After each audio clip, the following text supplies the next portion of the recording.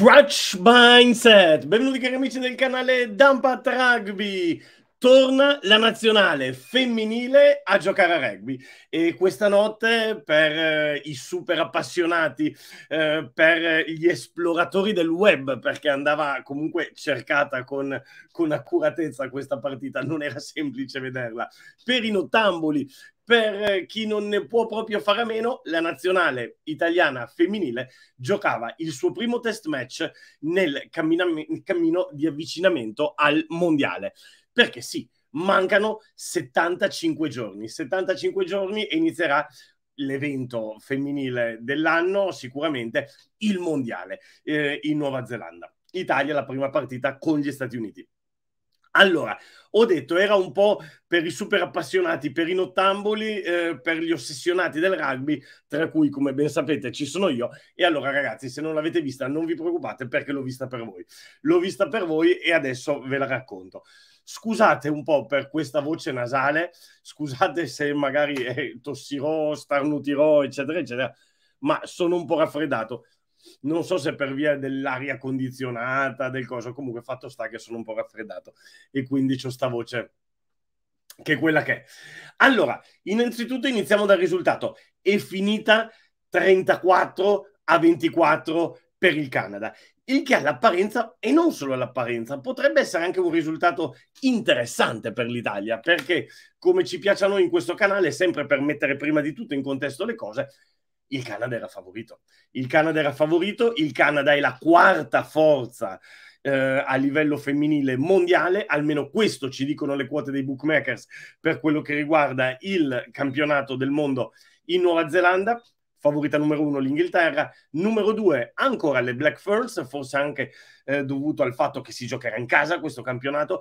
Io non sottovaluterei ovviamente la Francia e la quarta favorita è proprio il Canada. L'Italia arriva qualche gradino sotto. Eccolo qua, è arrivato il primo colpo di tosse. Allora, eh, come però è andata la partita? Come è andata la partita al di là del risultato finale? L'Italia dimostra subito la volontà di provare ad uscire con il pallone in mano ehm, di Gian Domenico. Ha parlato nel post partita di una necessità di trovare delle soluzioni anche meno dispendiosi di energie per uscire dal proprio campo. E allora ogni tanto si può attaccare col pallone in mano, però la prima cosa che ci viene in mente è il discorso dell'utilizzo del gioco al piede, un, un, um, un, settore dove l'Italia ha ancora tanto tanto da lavorare. Comunque all'inizio l'Italia dimostra subito la volontà di provare ad uscire con il pallone alla mano, perde però il possesso e primi, il primo possesso, la prima visita e, e il primo vantaggio territoriale e del Canada, quindi il Canada gioca 10 minuti nel nostro campo e poi riesce alla fine a concretizzare questi 10 minuti di eh, vantaggio territoriale nel nostro campo con una, mie- con una meta a largo, muovendo il pallone a largo da mischia. Occhio perché l'Italia non eh, abbassa le braccia e subito dopo, mentre il Canada ci mette 10 minuti per segnarci una meta, l'Italia invece ci mette una ventina di secondi perché direttamente con un'azione individuale pregevole di Ostuni Minuzzi dal calcio di invio scappa l'estremo, l'estremo azzurro e abbiamo quindi subito la meta.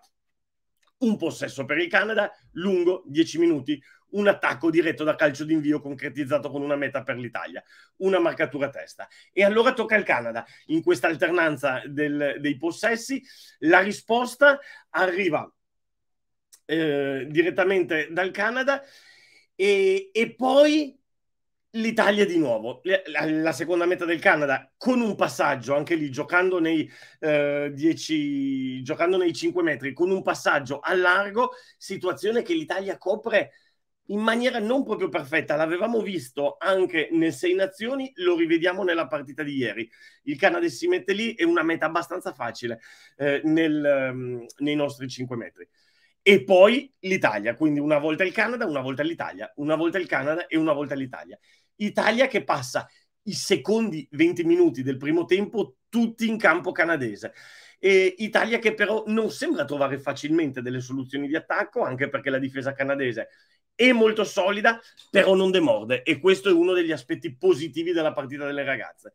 Non demorde dopo moltissimi tentativi, tra cui anche un paio di chip kick, uno di Rigoni, uno di Madia, eccetera, eccetera, e dopo un ultimo possesso lunghissimo, non ricordo quante fasi, ma veramente molto lungo, l'Italia non demorde e proprio alla fine del primo tempo riesce a segnare e andare al riposo sul 12 pari. Neanche male, neanche male quello che abbiamo pensato in diretta guardando la partita. Riguardandola stamattina ne parliamo dopo, vediamo quello che è funzionato e quello che non è funzionato. Ne ha parlato anche di Gian Domenico. Nel secondo tempo il disastro, tra virgolette, era un test match, però l'Italia perde la partita nei primi dieci minuti del secondo tempo. Entra in maniera molto caotica, il primo possesso dell'Italia lo buttiamo via con un calcetto dietro la difesa, non proprio eseguito benissimo da Sillari, eh, una scarsa difesa sulla protezione del contrattacco, transizione, il Canada porta la palla fuori, l'Italia fa fatica a difendere, commette una prima penalità, ne commette una seconda, le canadesi si trovano in men che non si dica sui 5 metri, touche, mall e meta molto easy. Si riparte e direttamente dal calcio d'invio la prima centro Sara Caliuvi distrugge letteralmente tre placaggi. Se avete maniera di andarvi a cercare gli highlights, lo vedete, è veramente impressionante. Distrugge tre placaggi, quindi anche qui un errore del, della rete dell'Italia che non può farsi rompere eh, al, primo, al, primo, contatto, però va dato merito anche alla prima centro canadese perché veramente, veramente bestiale in quell'azione e, e riporta il Canada nei 22. Cosa succede? l'Italia ha eh, la possibilità di fare un drop out dalla propria linea di meta, drop out che va direttamente fuori, errore grave di Beatrice Rigoni, mischia in mezzo ai pali e sette punti facili per il Canada.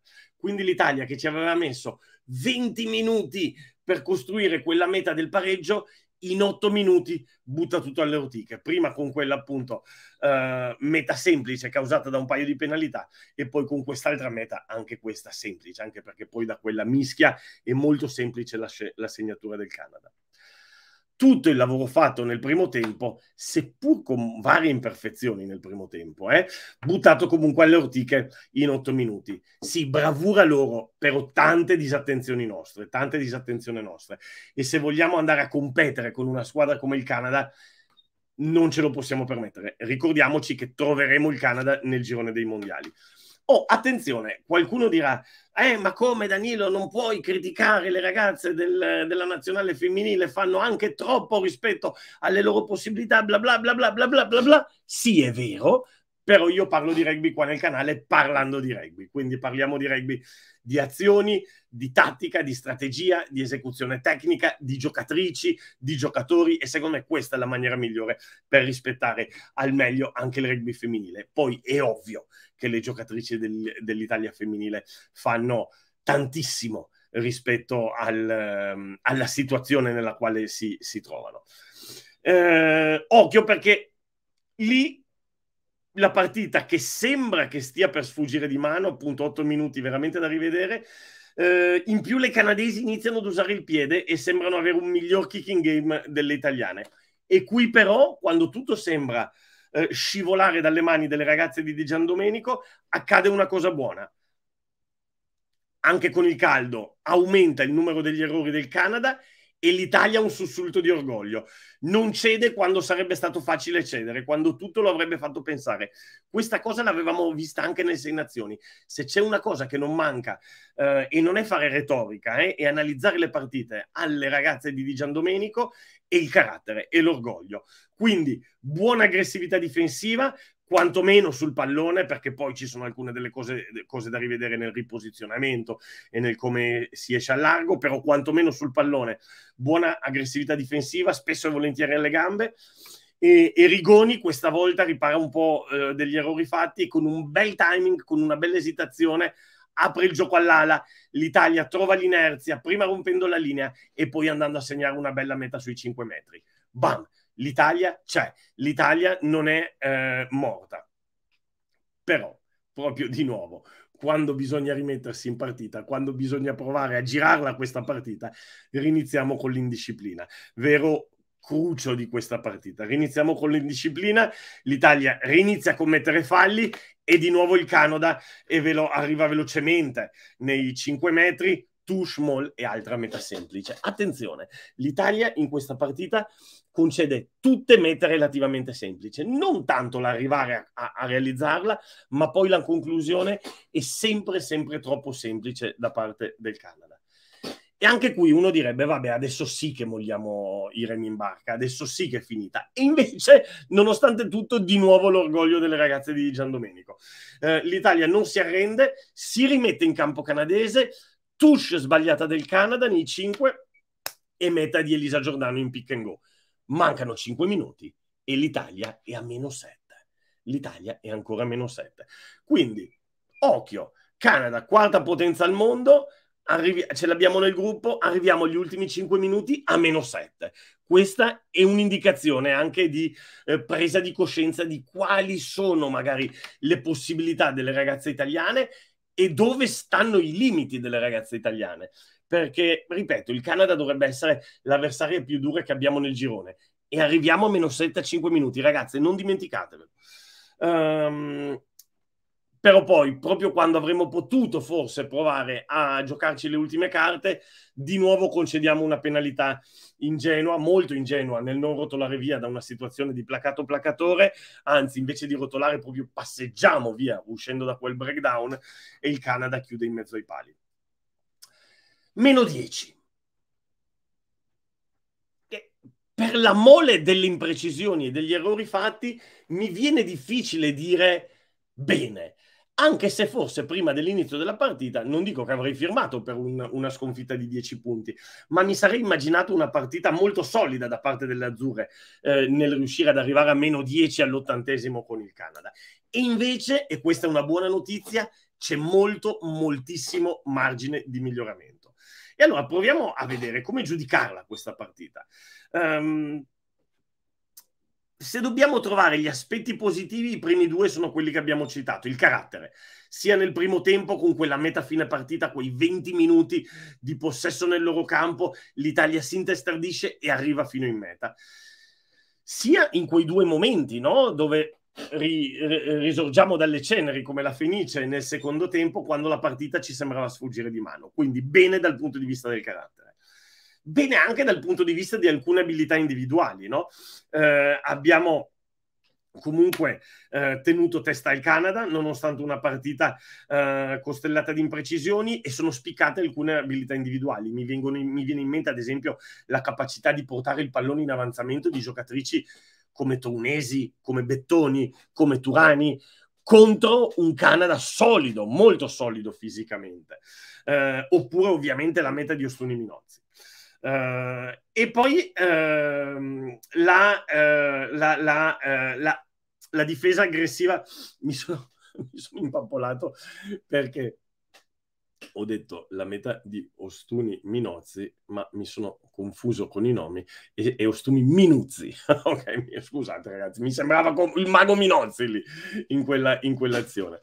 Poi, alcune abilità individuali l'abbiamo detto, altre cose andate bene, la difesa abbastanza aggressiva, anche se con molte cose da migliorare, difendiamo bene dal, dal 2, dal secondo dopo il post al 4, cioè difendiamo bene sul pallone, però facciamo fatica nel salire forte con i post e restiamo secondo me un po' troppo indietro, un po' troppo sconnesse fuori, forse per paura che il Canada portasse il pallone eh, a largo, ma soprattutto, soprattutto la circolazione difensiva di chi arriva dal lato chiuso. Lì bisogna lavorare, secondo me, molto, molto, molto di più. Si creano troppe sconnessioni.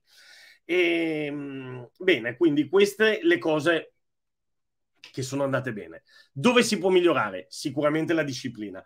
Questa partita eh, l'Italia non dico che l'ha regalata perché il Canada è, è, è, si è dimostrata una squadra ancora più solida dell'Italia, però troppe penalità concesse e soprattutto troppe penalità gratuite dove non vai a guadagnare nulla al, al, al concedere quella penalità e hanno influito molto sulla battaglia territoriale eh, nonostante poi il Canada non abbia neanche approfittato troppo con il piede, però siamo lente spesso e volentieri nel rialzarsi, nel riposizionarsi e non reattive nella circolazione difensiva. Un'altra cosa che però Bisognerebbe essere lì, bisognerebbe capirla. Eh, mi avventuro un po' in un terreno scosceso e che mi è sembrato che ci fosse una comunicazione un po' nervosa tra le ragazze. Eh, occhio, è solo una sensazione, magari va tutto per il meglio, però a volte sembrava che non sapessero bene quale scelte prendere. Eh, e visto che è un periodo dove sono riunite fuori, lontane da casa e questo periodo sarà molto lungo, anche pensando poi in futuro al camp del mondiale, staranno tanto tempo assieme, è necessario a parer mio trovare una comunicazione serena, lineare, chiara in campo, con delle scelte abbastanza precise, dove non ci siano 5-6 ragazze che vanno lì a dire la loro su tutte le scelte, eh, magari anche facilitata dallo staff tecnico che gli dia proprio delle, de, delle indicazioni chiare su cosa fare in alcune situazioni standard. E poi, altra cosa che si può migliorare, la difesa a largo nei 5 metri. Abbiamo preso delle mete soft durante le sei nazioni in quella situazione, ne abbiamo prese altre due. Uh, ieri Chiaro, è la situazione più difficile da difendere, però non possiamo permetterci che quando arrivano nei 5 metri loro portano 5 giocatrici dal lato aperto e noi rimaniamo tutte sul lato chiuso e poi basta un passaggio e arrivano in bandierina senza doversi nemmeno tuffare. L'avevamo già vista nel Sei Nazioni questa cosa. Occhio, bisognerebbe lavorare un po' su questa cosa qui.